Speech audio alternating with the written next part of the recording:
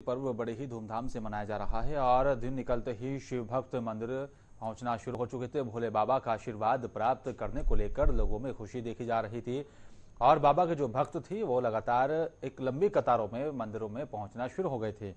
और साथ ही आपको बता दें कि इस जो है, यहाँ पर महाशिवरात्रि को लेकर लाइव ट्वेंटी की टीम भी गाजियाबाद के दुधेश्वर नाथ मंदिर का जायजा लेने पहुँची। और वहाँ पर देखा गया कि मंदिर में अपार भीड़ और सभी अपनी बारी का इंतज़ार कर रहे थे ताकि बाबा के भोलेनाथ का आशीर्वाद प्राप्त कर सके। स्वीकार करें और आपको अपार, जो आपकी मनोकामना हो, वो भगवान शंकर भगवान पूरा करेंगे। निश्चित रूप से, क्योंकि श्रद्धा और भक्ति एक अपूर्व चीज़ है इसके अलावा तुम छप्पन भोग लगा दो अगर श्रद्धा और भक्ति नहीं है तो कुछ भी नहीं। किस तरीके से आज का पर्व मनाया जाता है? आज उपवास रखते हैं और भोले बाबा को प्रसन्न करने की प्रक्रिया शुरू से ही चालू हो जी शंकर भगवान को अगर हम व्रत कर रहे हैं और व्रत करने के पहले शंकर भगवान को जैसे चावल है जल है फूलमाला है धतूरा है भाँग है नारियल है इत्यादि तरह तरह के पकवानों से शंकर भगवान माता पार्वती जी की पूजन किया जाता है। और पूजा करने के बाद व्रत करिए। व्रत करने के बाद, इसके बाद फिर एक बार भगवान का नाम लेकर के फलहारी भोजन करके व्रत को खोल आज के दिन, यानी शिवरात्रि के दिन, सभी लोग मंदिरों में पहुँचते हैं और शिव भगवान को प्रसन्न करने के लिए उन्हें जलाभिषेक किया जाता है।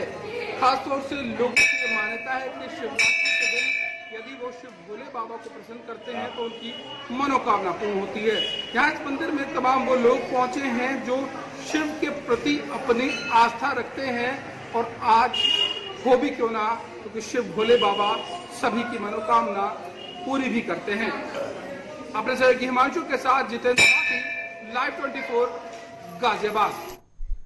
और तमाम जानकारी के लिए जितेंद्र भाटी हमारे संवाददाता गाजियाबाद से फ़ोन पर जुड़े हैं। जितेंद्र, महाशिवरात्रि का पर्व बड़ी धूमधाम से मनाया जा रहा है तो भक्तों में जो वहाँ पर भोले के भक्त हैं, किस तरह का उत्साह और मंदिरों में कितनी भीड़ देखने को मिल रही है? देखिए, गाजियाबाद ही नहीं, बल्कि पूरे देश भर में शिवरात्रि का पर्व बड़े ही धूमधाम से मनाया जा रहा है और इतना ही नहीं हर जगह सुरक्षा व्यवस्था चाक चौबंद है। गाजियाबाद की हम बात कर रहे हैं। दुधेश्वर नाथ मंदिर काफ़ी सुप्रसिद्ध मंदिर है और यहाँ पर व्यवस्था पुलिस के द्वारा चाक चौबंद की गई थी क्योंकि यहाँ पर पहले ही अंदेशा था कि सैकड़ों की संख्या में श्रद्धालु यहाँ पहुँचेंगे। सुबह से ही, बल्कि यूँ कहें कि रात से ही यहाँ तांता लग गया था भक्तजनों का और यहाँ पर लाइनें, कई कतारें लगती हैं। इसको चलते सुरक्षा व्यवस्था चाक चौबंद की गई थी। बुद्धेश्वर मंदिर की हम बात कर रहे हैं। यहाँ पर खास ये है कि यहाँ पर रावण के द्वारा पूजा की गई थी। पूजा अर्चना करके इसको अपने दसवां शीश कटाकर शिव भगवान को चढ़ाया गया था और इसी के चलते ये मंदिर खास माना जाता है। तो गाजियाबाद के लोगों की खास इसमें मंशा रही है।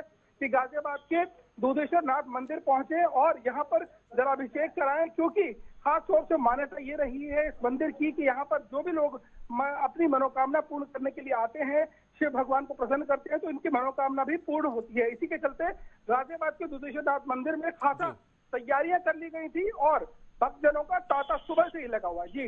और जितेंद्र जिस तरह से आपने बताया कि काफ़ी संख्या में जो भक्त हैं जो श्रद्धालु वो यहाँ पर पहुँच रहे हैं तो सुरक्षा व्यवस्था के इंतज़ाम कैसे किए गए हैं? जी बिल्कुल आपको बता दें कि गाजियाबाद में जो दुधेश्वर नाथ मंदिर है यहाँ की सुरक्षा व्यवस्था चाक चौबंद की गई थी प्रशासन के द्वारा और खुद एसपी सिटी श्लोक कुमार ने यहाँ का जायजा लिया था। ड्रोन के द्वारा भी सुरक्षा व्यवस्था का जायजा लिया जा रहा है। निरंतर यहाँ शादी वर्दी के जो कांस्टेबल्स हैं, पुलिस के, वो तैनात हैं, महिला कांस्टेबल्स तैनात हैं। और ऐसे में कोई भी संदिग्ध यदि दिखता है तो उससे पूछताछ भी की जा रही है। फ़िलहाल जो स्थिति है, वो सामान्य बनी हुई है। भक्तजन आ रहे हैं और जलाभिषेक कर कर वापस लौट रहे हैं। अभी भीड़ थोड़ी कम हुई है। हालाँकि सुबह से बहुत ज़्यादा भीड़ थी और कतारों में लोग वहाँ पहुँच रहे थे। फ़िलहाल अभी जो स्थिति है, वो सामान्य बनी हुई है और जो कोई भी संदिग्ध ऐसा नहीं है जो वहाँ पहुँचा हो और कोई माहौल को खराब करने की कोशिश की गई हो।